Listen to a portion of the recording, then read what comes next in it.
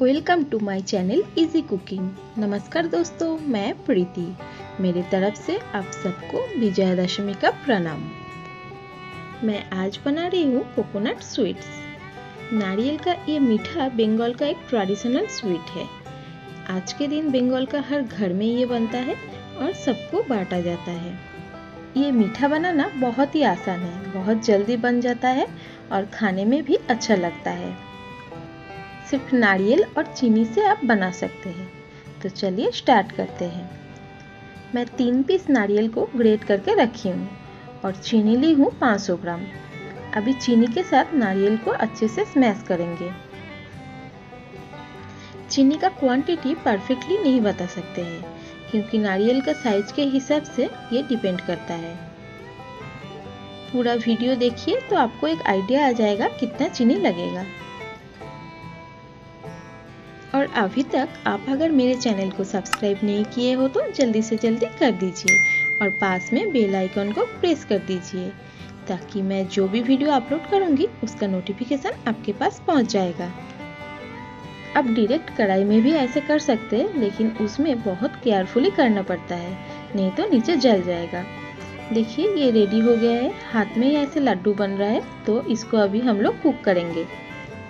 अभी कढ़ाई में दे रही हूँ। Low to medium flame use करना है।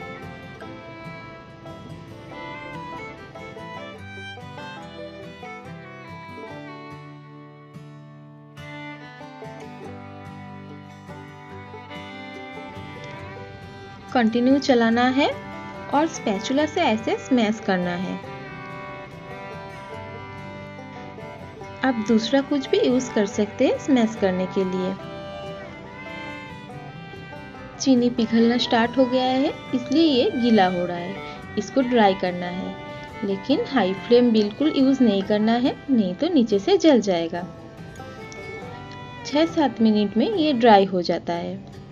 अभी इसमें दे रही हूँ वन टेबल स्पून इलायची पाउडर और एक बड़ा चम्मच मिल्क पाउडर मिल्क पाउडर के बदले में आप लोग खोआ खीर और मावा भी यूज़ कर सकते हैं। अच्छे से मिक्स करना है।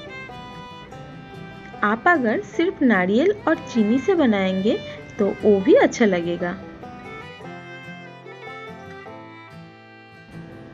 लगभग ये ड्राई हो चुका है। कढ़ाई से अलग हो जा रहा है और एक जगह में हो जा रहा है मतलब ये रेडी हो गया है। फिर भी हम लोग एक बार चेक कर लेंगे। हाथ को थोड़ा गीला कर लीजिए। थोड़ा सा लेके ऐसे लड्डू का सेप दीजिए। देखिए, ये लड्डू बन रहा है। मतलब ये हो गया है। अभी इससे हम लोग मीठा बना लेंगे। गर्मा गर्म ही इसको बनाना पड़ता है। ठंडा हो जाने से ये ड्राई हो जाता है, तब सेप नहीं दे पाएँगे। थोड़ा साइड में कटोरी में पानी रखिए, हाथ को गीला कीजिए और ऐसे बॉल सेप देते रहिए। ये हो गया नारियल का लड्डू। इसको तो आप ऐसे बना सकते हैं और 10-12 दिन आराम से स्टोर कर सकते हैं। बिना फ्रिज में ही स्टोर कर सकते हैं। एक एयर टाइट कंटेनर में रख दीजिए। और एक प्रोसेस भी है, उसको भी मैं दिखाऊँगी। आप मोल्ड से भी डिज़ाइन बना सकते हैं। अगर मोल्ड नहीं है तो मैं दिखाऊँगी चम्मच से आप लोग कैसे डिज़ाइन बनाएँगे। दूसरा प्रोसेस ये है, आप थोड़ा थोड़ा करके मिक्सी में इसको ग्राइंड कर लीजिए और उससे बनाइए। पेस्ट करके जो मीठा बनाते हैं, वो खाने में बहुत अच्छा लगता है। मुँह में देने से ही मेल्ट हो जाता है। लेकिन पूरा नारियल को एक ही साथ में पेस्ट मत कीजिए। थोड़ा पेस्ट कीजिए, बना लीजिए, उसके बाद फिर पेस्ट कीजिए। क्योंकि एक साथ अगर पेस्ट बना लेंगे तो ड्राई हो जाएगा कोकोनट। उसको और सेप में नहीं दे पाएँगे। देखिए, मैं मोल्ड यूज़ करके बहुत सारा सेप दी हूँ। सबसे आसान तो लड्डू बनाना है।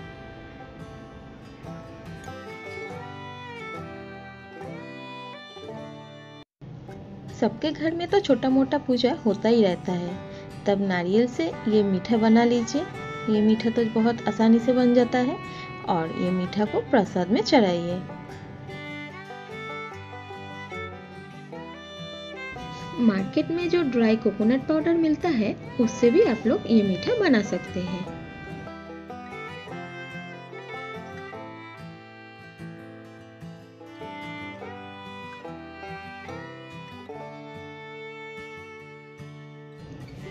30 से 40 मिनट के अंदर ये मीठा बनके रेडी हो जाता है।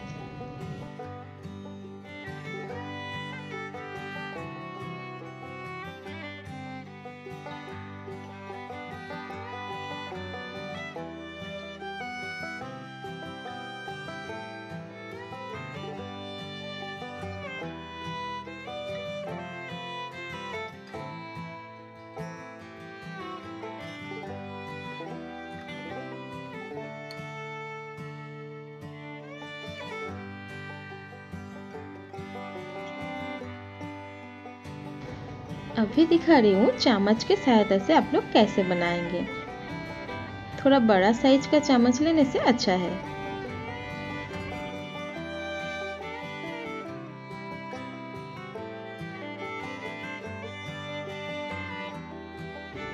अभी इसके ऊपर में एक नाइफ से डिज़ाइन कर दीजिए।